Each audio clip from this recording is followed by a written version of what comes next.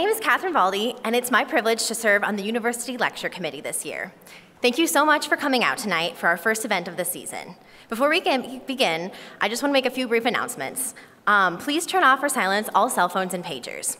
I hope that you came prepared to ask questions as Mr. Kristof will take questions after his lecture is finished tonight.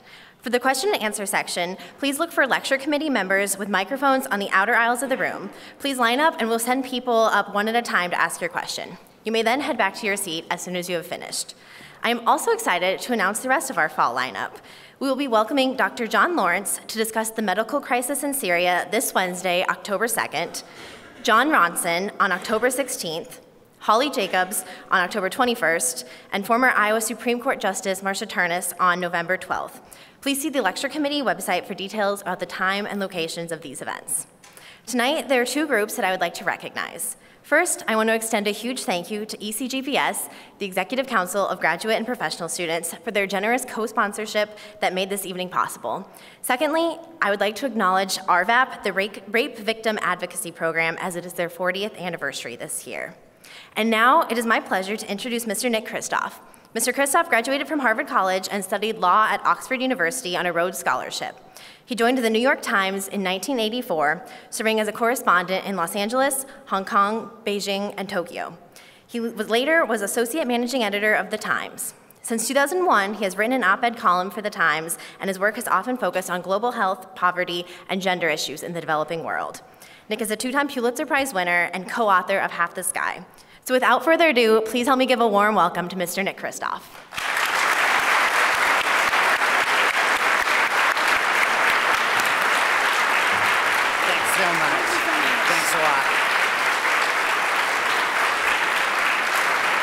Thanks very much. Thanks a lot, um, Catherine, and um, also thanks to so many of you who have been tweeting me for, it seems like weeks now, uh, welcoming me in advance. I appreciate the warm welcome. Um, and I also appreciate something else. You know, I kind of, as any journalist, I associate Iowa with um, January visits every four years. And so it was kind of wonderful to see that Iowa can be nice and warm and sunny and, and beautiful. Uh, who knew? um, um, and um, so um, it's, uh, and I had the chance to talk earlier with some students. It really has been terrific to be uh, back out here. I, I, was here actually right before the floods, uh, I think in 2007. And um, boy, a lot has happened since here. Um, and I hope you'll get your basement back soon. Um, now, people are always kind of um, curious that a uh, New York Times columnist and a man to boot should be writing so much about what we think of as women's issues uh, around the world. And so let me explain a little bit how that came to pass. It, it was kind of an accident through, uh, through my reporting. And um, as you may know, um, half the sky comes from a a Chinese saying. Somebody must know. How do you say half the sky in Chinese? Ban bian tian? Okay, very good. Um, and the, the idea for it really came when uh, my wife Cheryl and I were uh, living in China. Uh, that's Cheryl and me in, in Tiananmen Square um, a few months ago. And, well, that wasn't very polite. Is it really that obvious?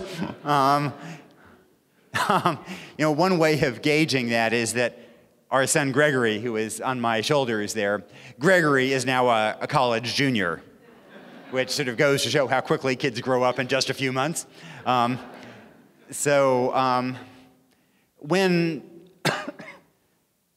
excuse me, uh, I'm, um, I, I I'm just back from Syrian refugee camps, and I, I picked up um, something of a, a, a, chest cold there, and I thought, oh, this must be some incredibly exotic disease. And I came home, and my daughter has exactly the same cough. So, uh, you know, I promise I'm not going to infect you with anything, with anything too exotic. Um, but when Cheryl and I were living in China, we began to see uh, what happens when you begin to invest on the basis of gender. And we saw it through something of an accident. Uh, we were writing about how there were so many girls who were dropping out of school basically because they were school, girls. This is 1990, and uh, we, this girl here, her name was Dai Manju, and she uh, had to drop out. She was the brightest kid in her school, and she had to drop out for want of $13 in annual school fees. $13. She would hang out at the school gate. Um, the teachers loved her because she was so bright. They would give her extra pencils and notebooks, but she couldn't study for want of that $13. And so Cheryl and I were writing about this phenomenon, and we chose her as the poster child of this. We ran her picture three columns across the front page of the New York Times to write about it. And you can imagine what happened next. We were just deluged with letters from readers, mostly containing checks for $13, wanted to help her. Um, New York Times readers are incredibly generous in kind of very modest increments. um, and, um, but we also got a wire transfer from one reader for $10,000 to help her. And we took all this money down. Remember, this is 1990. We took all this money down to uh, work out a deal with her principal, who's that man there. And basically, the deal was that this money would be used to keep girls in school who otherwise would have to drop out. And that as long as girls could maintain the grade, uh, they could stay in school. These girls were thrilled. For the first time, your academic prospects would be a function not of your chromosomes, but of your intellectual capacity. And then we called up the donor of the $10,000 to give him a report. And he was kind of surprised that we would call him up. And we explained you just don't understand how far $10,000 will go in rural China. He kind of gasped and he said, $10,000? I only sent $100. Yeah, that, we gasped too at that point. Yeah. Well, it turns out that he had only attempted to wire $100, but the bank had had a little trouble with that decimal point. So we, later figured that banker was probably put in charge of subprime mortgages. You figure? uh, so, you know, we didn't know what to do. We, we couldn't imagine going back to these girls and saying, oh, sorry, it was all a banking error in New York. You know, at the end of the month or end of the quarter, they're going to discover this error and, you know, then you'll drop out of school. We couldn't do that. How many of you um, are studying journalism? Okay, well, be sure to like close your ears for the next little bit because what I did next was not hugely professional. I'm kind of embarrassed by it, but what I did was I called up the chief spokesman for the bank uh, in New York and I explained exactly what had happened. Uh, they'd made this error. These girls were relying on it to get the first hope for education ever. And then I just sort of let slip the follow up article I was working on. you see where this is going? And I said, now, on the record, are you going to try to get that $9,900 back and force all these girls to drop out of school? Well, he didn't miss a beat. He said, on the record, under the circumstances, we're delighted to make a donation of the difference. Well, yeah, let's give the bank a hand. They deserve it. so that was 1990, and we visited periodically since then. And it's been fascinating to watch what happened. So Dai Manju herself became the first person in her family to graduate from elementary school, from middle school, from high school, then earned an accounting degree uh, joined a large accounting firm in Guangdong province in the south, then started her own small accounting firm after about 10 years. So many other girls uh, who otherwise would have been, you know, ended up dropping out and working in the, the rice paddies or tending goats, ended up getting a great education and uh, earning money in ways that supported the entire community. The beneficiaries of this weren't just those girls, it really was the entire community. And so you go back now, and I mean, obviously, all of China and all of Hubei province has hugely benefited in the interim. But you go to this area in the, in the Dabie Mountains, and uh, this village, all, there are all these little clusters of villages, and this village is far and away better off than all these others around it, just because of one one-time banking error uh, 23 years ago. It's kind of a remarkable indication of what can happen when you invest in girls' education and then see the, this virtuous spiral of development unfold as a result. And so for Cheryl and me, you know, that was one of the initial epiphanies that kind of got us thinking in those terms. And the more we began to think in those terms, the more we began to see what is possible. And it was really ultimately that reporting uh, abroad and at home that led us to uh, the book and the documentary of, of Half the Sky. And I think one of the, um, the things that we came to see as we reported more uh, on um, sexual violence, on trafficking, on all kinds of issues, we came to believe that the uh, central, just as the, as the paramount moral challenge of the 19th century was slavery, and just as the paramount moral challenge of the 20th century was totalitarianism, that in this century, the central moral challenge, and I think for, for those of you who are students, really kind of the, the central cause of, of, of your times, is the uh, just profound gender inequity that is true in so much of the world today. And when we say that, I think people are skeptical and think that it kind of is, is meant in a, in a kind of hyperbolic way, and it's not. Uh, let me, to explain, let me turn the tables on you and ask you a question. Are there more males or females in the world today? Um, let's, let's put it to a vote here. Um, anybody think there are more males in the world today? Um, I see a few hands. Um, and who thinks there are more uh, females in the world today? I'm afraid that first group was right. There are actually more males. Um, we think that there are more females because in the United States there are more females. Um, in, uh, in Europe there are more females. I bet among University of Iowa undergraduates, are there more females? Yeah. Um, and um, you know, in a in an egalitarian society, given equal access to food and, and healthcare, women live longer. So in an egalitarian society, there are more females. But the point is that in much of the world, sex discrimination isn't just about unequal pay or inappropriate comments or anything else, it's lethal. Um, this is a picture I took in, a, in an emergency feeding center in Ethiopia. You look at it, you see starvation. But what you need to know is that every kid in that feeding center was a girl.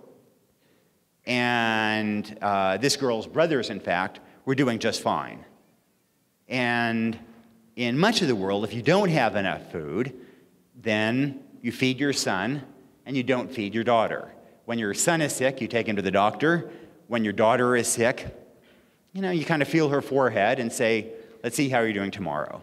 And the upshot of that is differentials in mortality rates for boys and girls uh, so that uh, girls are more likely to die. Um, and in recent years, on top of that, you've had the spread of ultrasound and you've had sex selective abortion, which has amplified the, the existing problem. And so, depending on what demographer does the math, you have somewhere between 50 and 120 million females missing worldwide. 50 and 120 million. And that is why there are more males than females worldwide. To slice it and dice it a different way, um, in any 10 year period, you have more girls who are discriminated against to death than all the people who died in all the genocides of the 20th century. Just a stunning figure. And when you think of it in those terms, I think it's easier to see why this would be uh, the central moral challenge of the century.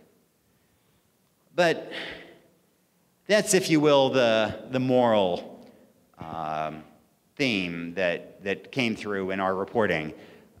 The other thing that really struck us is putting aside the issue of injustice. If you simply look at where you can get leverage to bring about change on all the kinds of issues we each care about on global poverty or domestic poverty, on um, climate change, on civil conflict and terrorism, then there are no silver bullets. But time and again, the area where you can get the most bang for the buck is to educate girls and to bring those educated women into the formal labor force and into society and see the same kind of a, a virtuous spiral of development as happened in that village in, in Hubei province in China with Dai Manju. Uh, to put it another way, uh, women and girls aren't the problem, uh, but the solution. And there, uh, there are any number of reasons for that. One has to do simply with fertility, though. If you educate a boy, on balance, he'll have fewer children. Uh, but it's a pretty marginal effect. When you educate a girl, it has a very dramatic effect on birth rates. And so many social issues are entangled with very high birth rates. I mean, quite aside from environmental pressures, uh, carbon emissions, uh, simply the, the, this having a youth bulge in the population is one of the things that correlates most highly to civil conflict and terrorism and violence there. One of the ways you address it over the long term, obviously, is educate those girls, bring down the birth rate so you don't have that kind of a, a destabilizing youth bulge. It's not a quick impact solution, but over time it really can make a difference. Um, well, so if this is indeed the central moral challenge, what might an agenda look like uh, to make a difference? One of the issues that I think has to be much higher on the agenda, internationally and domestically, is human trafficking, which at its extreme really is a modern form of slavery, and sexual violence generally. Um, I became, uh, Cheryl and I both became interested in this when we were living abroad in, in Cambodia, and this really, this really felt absolutely like modern slavery. These are girls in a Cambodian brothel. They were kidnapped in rural areas. They're locked up in the brothel. They don't get paid. Um, and typically, they, the big difference from, old, from 19th century slavery is that they're dead of AIDS by their 20s. Um, and when um, one of the things that, that we wrote about in, in Half the Sky and um, that, uh, uh, that created some controversy in journalistic circles was I ended up buying uh, two girls from their brothels. Uh, this girl, uh, Srey Neth, I paid $150 for her, and uh, Srey Mom in the, in the white blouse there with the, with the blue uh, line going down uh, paid just over $200 for her. And it's, it was a long, protracted um, uh, process that, uh, that we write about. Um, I'm still in touch with both of them. But the thing that really shook me was when I bought them, I got written receipts for both of them. Written receipts. I mean, it's like buying a car, taking title to a car or a boat. When you get a written receipt for buying a human being in the 21st century, something really is profoundly wrong.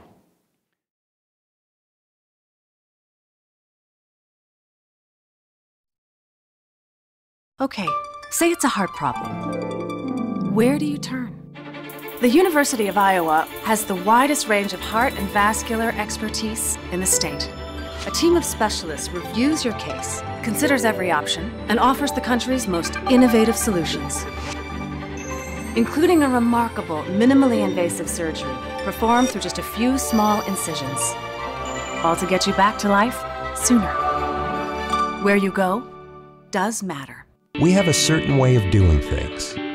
You'll see it in the determination of our students, in the classroom and on our fields in the collaboration among our faculty that lead to great innovation and change, in the vision of our writers, artists, and doctors, bringing the world to Iowa and Iowa to the world.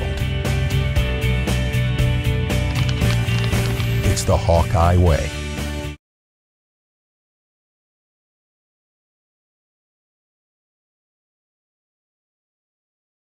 I think there's a tendency to think that, oh, you know, it's terrible what happens halfway around the world in Cambodia uh, or India, uh, Pakistan. And it's true that the places where modern sexual slavery, where trafficking tend to be the worst, are countries like Cambodia, India, Nepal, Pakistan, Bangladesh, uh, Malaysia, um, to some degree Thailand and Burma. But we don't have, but we also have a huge trafficking problem right here at home. And we don't have the moral authority to tell other countries to clean up their act unless we do much more right here. And um, I think there's a misperception sometimes that trafficking in this country is basically about foreign women smuggled into the US. That is indeed a problem, but I'd say that the bigger part of the problem, in terms of the numbers and in terms of, uh, especially in terms of the really young girls, the bigger problem is domestic, homegrown girls. Uh, and typically what happens is this is a uh, girl growing up in a, in a troubled home, in a, in a low-income neighborhood. It's, this isn't universal, but I'd say this is the most common scenario. Maybe um, her mama's boyfriend is hitting on her. Um, there's a lot of distrust there. She runs away at 12 or 13, goes to the bus station or the mall, and the only person looking out for her in that kind of situation is the pimp. And he gives her a shoulder to cry on, he buys her a meal, and she thinks, oh, you know, at last I found somebody who understands me. And then uh, three days later, he's selling her to, um, you know, seven or ten men a day and uh, tattooing her to put his brand on her, like a, a cattle owner might, might brand his cattle, and warning her that if she ever runs away, he'll kill her. And there's this misperception uh, I think one of the great problems here is there's misperception because we see these 14 year old girls out in the street wearing inappropriate clothing and they're, you know, they're, they don't trust police, they don't trust anybody, and we think that they are completely, you know, partners with the pimps. And that is just a complete misunderstanding of that relationship. The pimps are utterly abusive and controlling and manipulative. It's not to say that these girls are you know, being chained to the radiator somewhere. Um, but uh, you could not have a more violent and manipulative control. And plus, these girls are, um, you know, they're really young. And it is so aggravating that the police response is to arrest the girls who were really the, the victims here. Um, that is beginning to change. And I think we need to put more pressure on police and on prosecutors to see this not as a kind of a public nuisance issue, but to see these girls as victims and to go after uh, the pimps in particular, and, and to some degree the Johns. If you have fewer Johns, then you're going to have less demand and you're going to have fewer girls arrested. One of the things that really just, um, just outraged me was um, uh, there was a case in Michigan, um, a, I forget if she was 15 or 16, um, but um, girl went missing and her family was looking all over for her. And uh, do you know Backpage.com? He does a lot of prostitution advertising. So her family looked for her on Backpage, and they found her picture. They found her being advertised on Backpage. So they called the police, um, and the police, uh, uh, I guess, triangulated and found where the cell phone signal was coming from. It was coming from a motel uh, and they raided it, and there was a pimp who was holding this girl and another one. Excuse me. And um, the police arrested the pimp, but they also arrested these two girls. And, um, you know, as long as one is arresting these girls, then of course you're not going to be able to build trust with them and, and get them to help in the prosecution of the pimps. We need to kind of rethink how we approach this issue.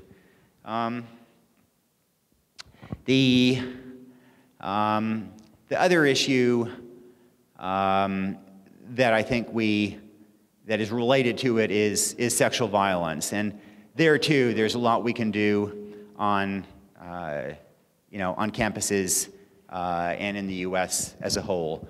Um, I was, um, uh, I met with the RVAP uh, folks uh, uh, earlier this afternoon, and um, I was just struck by the by the numbers here at Iowa. That uh, so in the last in the last year there were 56 rapes uh, reported on campus, um, and, which kind of surprised me, shook me. I mean, I'm sure the uh, the number of reports is way below the number of actual incidents. And I think we still, as a society, kind of haven't wrapped our heads around the way rape typically happens in a situation like this. That, you know, if it's a stranger rape, then we, then we kind of get it. But uh, so often where it's a issue of consent, that, um, you know, the, the girl is, um, has, uh, is, you know, been drinking with this guy, or she's gone to a party, um, and she's, you know, started making out with some guy, but then she's fallen unconscious, or she's at that point uh, tried to say, no, I want to stop here, and he um, forces things further. You know, that's the way so many of the, so much of the sexual violence happens, and that is what we still haven't figured out that, you know, that no means no in that kind of context. I think we have to do a much better job uh, in trying to make that clear to men and women uh, alike. More broadly, kind of domestic violence, you know, um, one of the things that really, uh, earlier this year, um, I don't know if you, if you know about this, you saw this, there was a, you know, in a, in, a, in, a, in a country where we have so much domestic violence, so many ex-girlfriends being, um, being attacked by, by ex-boyfriends, this is a, um, the ex-girlfriend mannequin, which was uh, being sold on Amazon. Uh, and it was meant for target practice. And the sales pitch was that when you shoot it, it bleeds. In a country where we have so many women being killed by ex-boyfriends, we want to market this. And um, indeed, Amazon, after protest, did take it down. But to me, it just reflected the kind of the broad you know, how much work we have to do in kind of building sensitivity and raising this issue uh, much more broadly. I think we still don't get this issue. Um, another issue that I think has to be much higher on the agenda is reproductive health. Um, and again, I'm speaking both globally and domestically. Um, I've seen a lot of really really tragic things in my travels around the world, but I think the one that just breaks my heart more than almost any other is a, a childbirth injury called an obstetric fistula. Uh, have, have, you heard of it? Does that ring a bell? I think some of you are not. It's a, uh, um, it, it typically happens when a woman is in obstructed labor and needs a C-section, um, doesn't get it, um, and it, uh, the fetus becomes stuck, gives, leads to internal injuries, leave her uh, incontinent. And um, it, it, also disproportionately happens uh, to, to, in a first pregnancy, especially with a teenage girl who is really pregnant before her body is, before her pelvis is really ready to deliver. And um, so that's what happened here. This, uh, this is Mahabuba, who is an Ethiopian. At age 12, she was married to a 60 year old man. She was not consulted. Um, she became pregnant. She uh, tried to deliver alone in the bush. Uh, the, the fetus was stuck, um, eventually died. Uh, she um, then suffered these internal injuries and I mean, there's, there's, no, there's no elegant way of putting this. She, um, she's leaking uh, urine and feces through her vagina uncontrollably. Uh, she stinks. Um, she also has nerve damage in her legs, both legs, foot drop, so she can't walk, she can't even stand up. The villagers think that because she stinks like this, they think she's been cursed by God and they put her in a hut at the edge of the village, and they take off the door of the hut so the hyenas will get her that night. Mahabuba is also just the, the strongest, toughest person you can imagine. And um, when the hyenas come, there's a stick in the hut. And so she can't stand, but she takes a stick, she shouts at them, she waves it around her head, she fends them off all night. The next day at dawn, the hyenas slink away, and she knows that there's an American missionary who lives just over 30 miles away.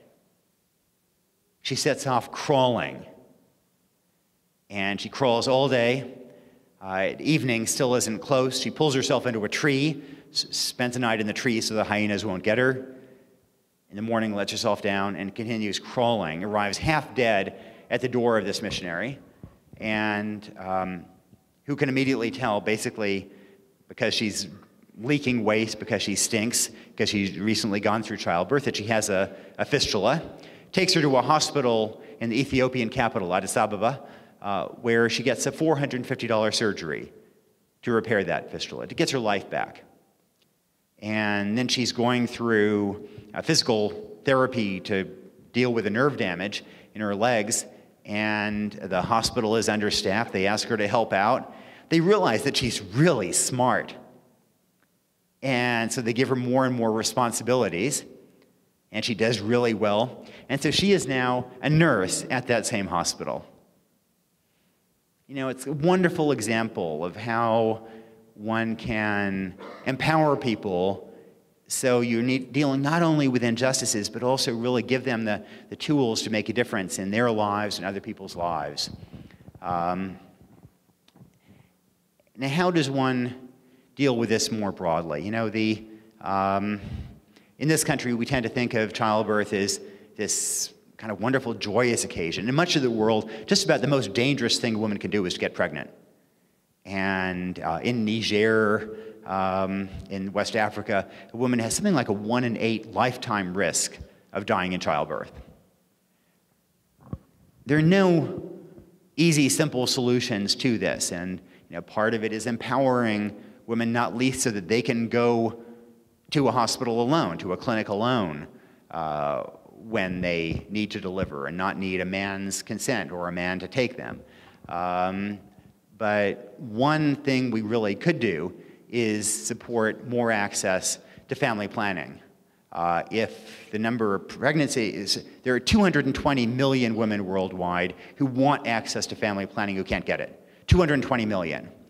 Um, if, for that cotter, if they had only half as many pregnancies, they would only have half as many uh, deaths in childbirth. And yet, one of the really unfortunate things about the political polarization in this country is that because reproductive health has been so toxic over abortion policy, that even though by and large there is, uh, for the most part, agreement on contraception, I mean, not least because one of the most effective ways of reducing the number of abortions is to provide more family planning. Um, but it has been impossible for left and right to agree to try to bridge that, that gap in, in uh, unmet need for contraception, that 220 million women who, who want it. And we can do so much of a better job there in ways that are, that would really make a, a huge difference worldwide. And it's so frustrating that um, it's kind of political um, distrust here that is making it harder to meet that, that need worldwide.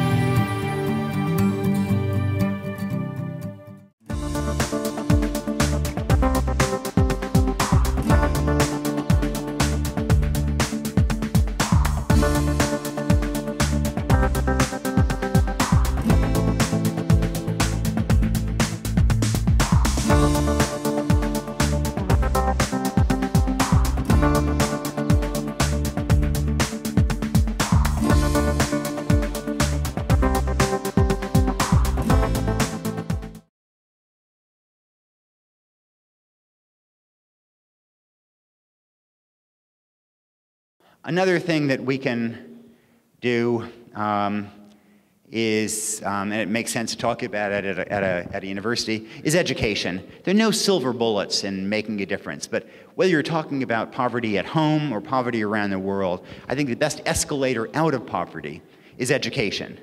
And the commonality between Tanzania and Chicago is that kids who are poor and most need that escalator are least likely to get access to an effective school and effective teachers that, that might actually work and take them out. Um,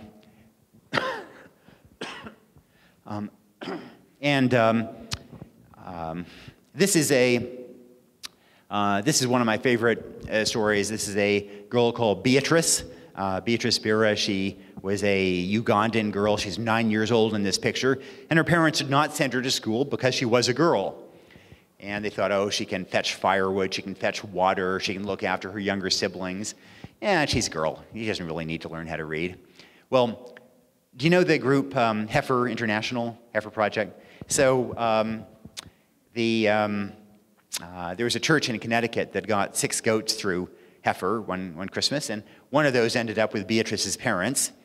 And they sold the milk, and they used that and well, they had a bit of a nudge from Heifer too. Uh, they, so they used that to send uh, Beatrice to school. They used the milk money to send Beatrice to school.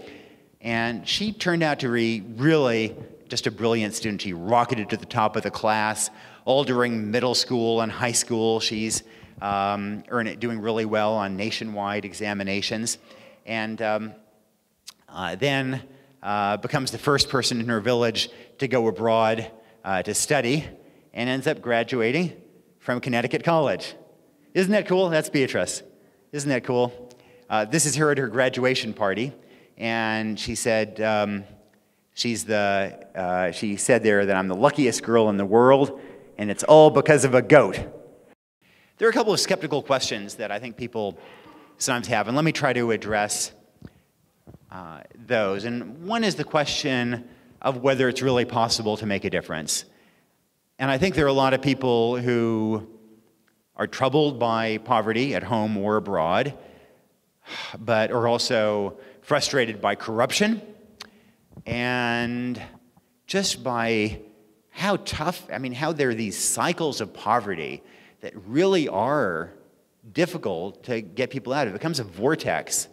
And um, uh, so they just kind of doubt whether it can, it can make a difference. Now, let me just say that, you know, there is something real to that skepticism. Uh, it's harder to make a difference than it sometimes seems. And the corruption issue is real. The ineffectiveness issue is real. It's harder than it looks. Um, anybody who has traveled around the developing world has seen um, wells that have been put in, for example, uh, considerable cost, but there isn't maybe a system to sustain the wells um, to keep them maintained. And so the washers tend to wear out after a couple of years. And if there isn't a system of repairs put in place, then you have this investment that is lost, and then everybody goes back to drinking from the creek, and their kids end up dying again. Um, and yet, I guess the answer to that is anybody who has traveled around has also seen programs where wells were put in, and um, there was a system it was a smart system to, to keep it sustainable, to keep it repaired. And then they could go on for 15, 20 years uh, or more, and the child mortality in those villages dropped substantially. Um, I also think we're really getting smarter and better at figuring out how to make a difference. And partly that's, it's not that we're kind of marching into communities and saying, okay, here's what we're going to do. And it's much more about getting local ownership of problems, listening to people about what they need. Um, there's much more uh, use of randomized controlled trials to really measure what will work and at what cost. The, the, there have been so many business people who have moved into these issues, and they really brought with them a sense of metrics and evaluation and rigor that has been really useful for the field. Um, and for example, in in the world of, uh, of education. Uh, the, um, one of the most cost effective ways of getting um, more kids uh, in school isn't building more bricks and mortar schools and it's not subsidizing uniforms or anything else we might think of. It's something we, it tends not to be on our minds.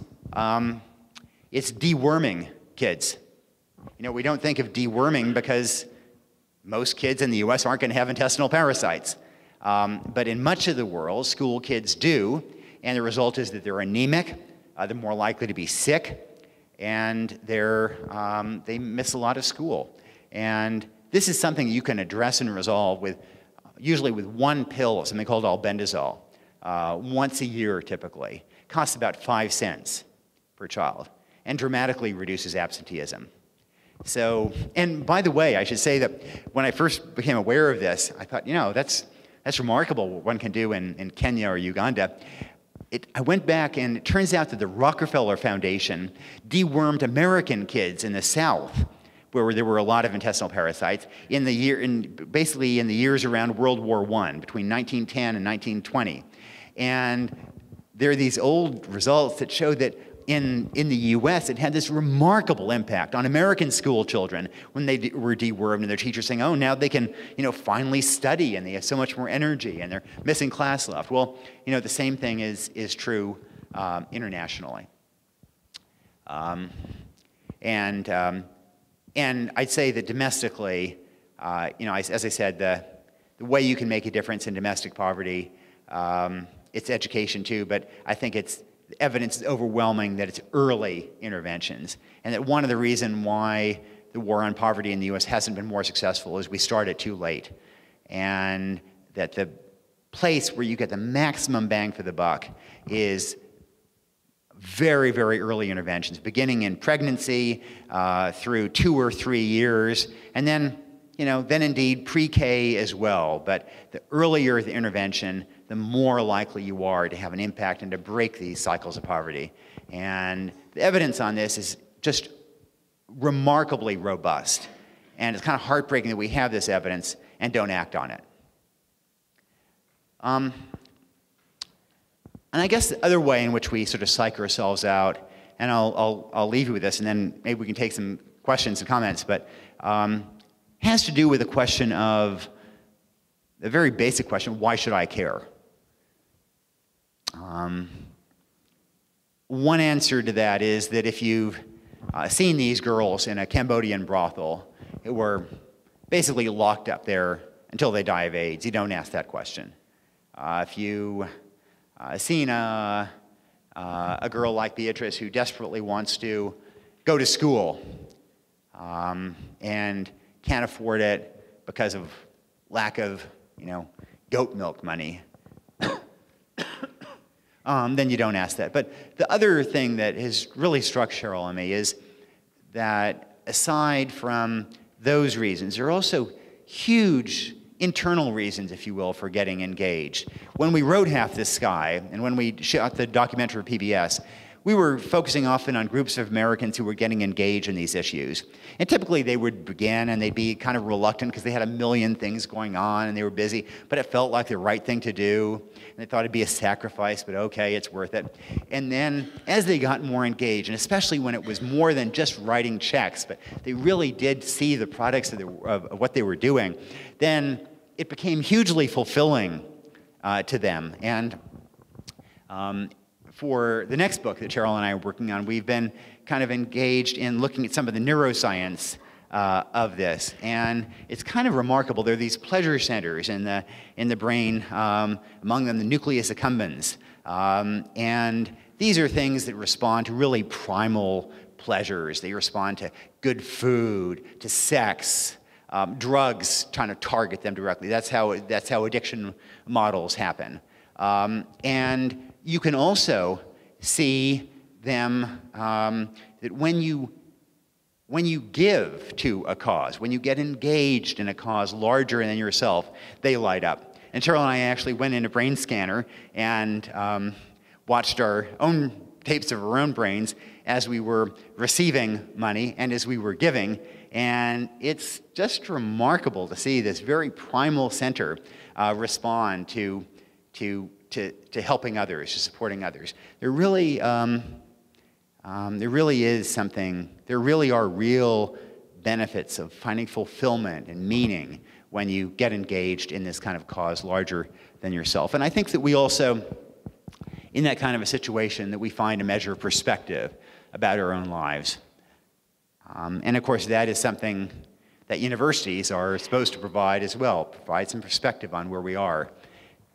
Let me leave you with um, the story of a friend of mine, um, a young American woman who was a uh, aid worker in Congo and in Sudan, among other places.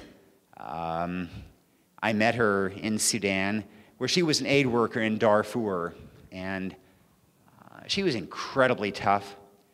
Um, she never showed weakness, uh, never saw her show fear, uh, and then she was back over Christmas vacation here in the US in her grandmother's backyard, and she totally lost it. She was just, just fell apart. She's weeping in her grandmother's backyard. You know what it was? Her grandmother had set up a bird feeder, and my friend was there in the backyard thinking about, about all that she had seen, and her eyes fell on that bird feeder, and she thought how just unbelievably lucky she was to uh, be born in a country where even in tough economic times, we basically have enough food and clothing and housing, and even have enough extra to help wild birds get through the winter. She sort of thought about it in that context and thought about her good fortune and, and the responsibility that comes with it. In the same way, at the end of the day, the fact that we are right here, right now, um, truly, in a global perspective, means we've won the lottery of life. And when you have won the lottery of life, then there is some responsibility that goes with that to give back. Uh, and so I invite you to join this effort, find your own niche within it, and together I think we can help change the world just a little bit. Thank you very much, and I'd be delighted to take questions.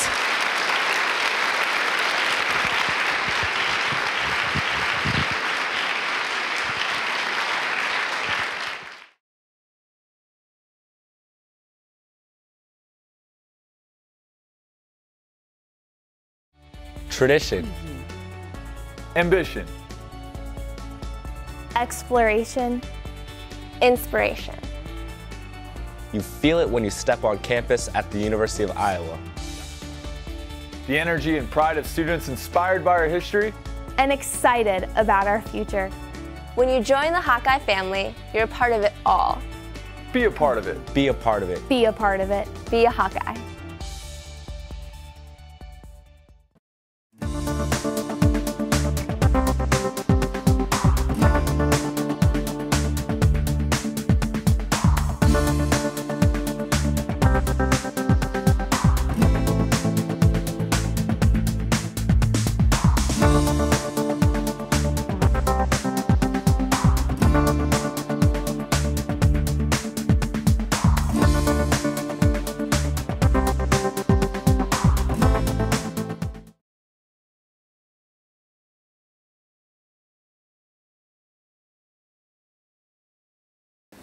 Hi, well, I have a question from you uh, that arose from this. First, I'd like to know how do you get these women to tell you their stories? How do they open up to you, and why do they open up to you?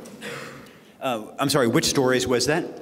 So the, especially the story about um, the woman who crawled to the embassy.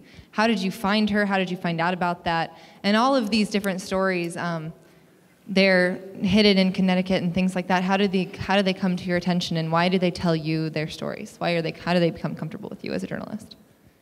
You know, it's a, um, I mean, it's a great question. I mean, I guess what I would say is that in my reporting, I found that the way to get people to care about these issues is through individual stories. So I put enormous effort into trying to find the most compelling story. And in particular, the, the thing that really struck me was um, when I first began write about Darfur, um, I felt, you know, I was going off and I was writing about these villages of massacres and terrible things going on, and it felt like my columns were just disappearing without a ripple. And then I came back to New York, and I don't know if you remember this, it, um, but at the same time, there were uh, two red-tailed hawks in New York, uh, pale male and I can't remember what the female was, and they were living in a, in a condo right on the edge of Central Park, and the condo thought that they were leaving too many bird droppings, and so broke up their nest, and we had two homeless red-tailed hawks in Central Park, and all of New York was like outraged over two homeless hawks. And I thought, how is it that I can't generate the same amount of outrage over hundreds of thousands of people being slaughtered as people feel over two homeless hawks? And that led me to um, work in social psychology and in neuroscience about what makes us connect two things. And it turns out that it's basically about stories. And so the upshot is if I want to write about an issue, I go out and I try to find the most compelling story I can. And um, I will, you know, go village to village, person to person, trying to find that story that is going to get Americans to spill their coffee in the morning, to care about this issue. And once you tell that story, then you can throw in the statistics and the broader situation and move people. Um, so I spend an enormous amount of time trying to find, trying to find those. And,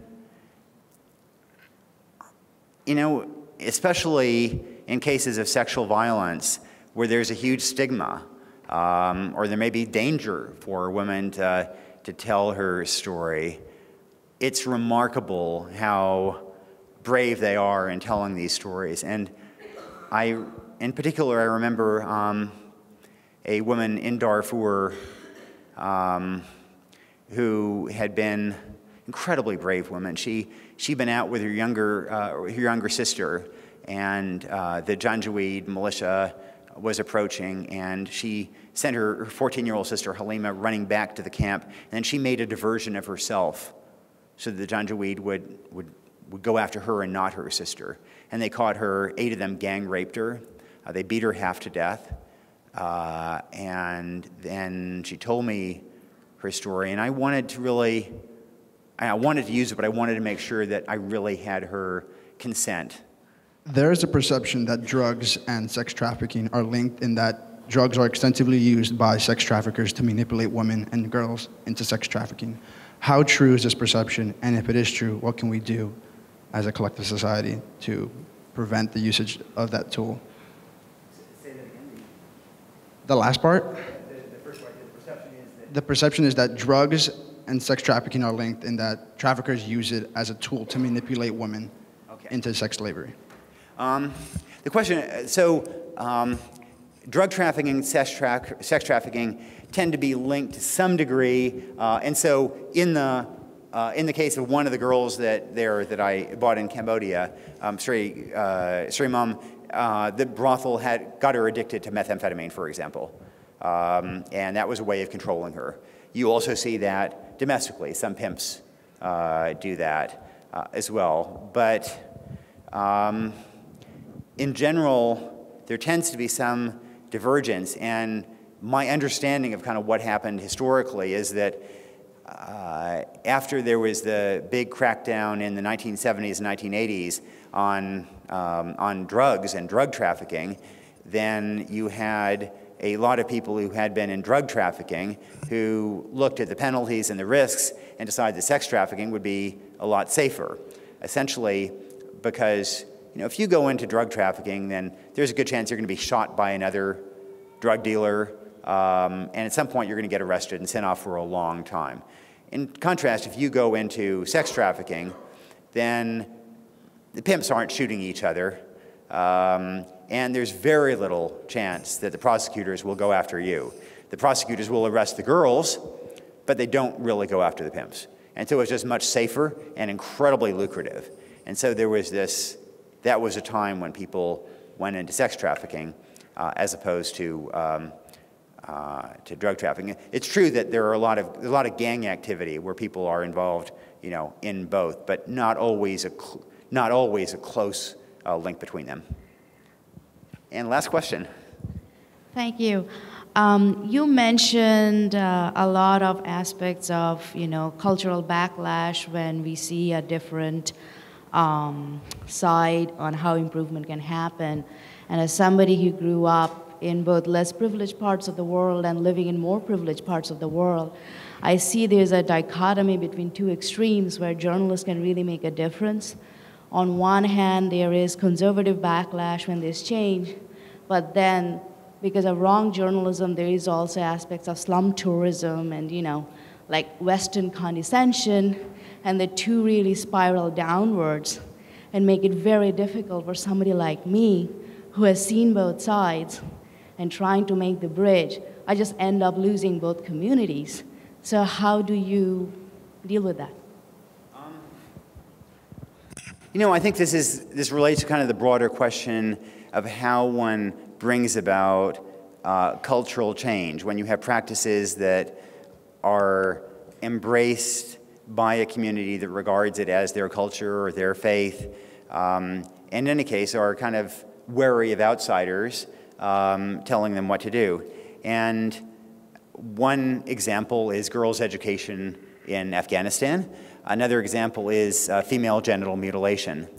Um, there, in the case of FGM, um, I think you had a, a really instructive failure. Uh, since the 1970s, you had a really a global effort to uh, combat FGM. It used to be called female circumcision. It was rebranded as female genital mutilation. Um, and you had conferences held all over uh, to discuss it. Uh, you had laws passed in country after country uh, to prosecute uh, either parents who cut their daughters or the practitioners who were cutting girls. Uh, in Guinea, uh, it now can be punished by life imprisonment to, to, to cut a girl's genitals in that way. And yet, all this international effort had approximately zero impact. And indeed, it did create kind of the backlash that you're talking about. I remember one Sudanese, uh, Daya, the woman who does the, the cutting, she was saying to me, This is our faith. This is our culture. What business is it of Americans whether we cut our daughters, whether we circumcise our daughters? And, you know, that's, that's a fair question. And it seemed to me that on balance, the way to make a difference there isn't to pass tougher laws and isn't for outsiders to march in and tell everybody, don't cut your daughters, don't circumcise your daughters, um, but rather is to empower the local agents of change and give them the megaphones and give them the support. And um, that has been happening. And so there are some organizations that really have been uh, working against FGM. Um, in, in our book, we, um, we talk about an amazing woman called Edna Adan, a Somali woman who runs a maternity hospital. And she's a passionate, um, and she, because she's Somali herself, because she was cut herself as a girl, she has the wherewithal to convince Somalis that this is not in the Quran, this is not part of Islam. You don't need to cut your daughters. And she has far more persuasive capacity than any number of Americans. You know, likewise in Afghanistan, as I said, when Americans embrace girls' education, that makes local communities, Pashtun areas, somewhat wary of it. And it's so much more effective when it's local imams who are being the advocates for this. And we, you know, we support those people. That, that can have a powerful impact. Uh, and I think we need to figure out more effective ways of empowering local advocates rather than uh, being um, the change makers ourselves. And um, with that, uh, thank you very much for having me here. It was a great pleasure. Keep up the great work.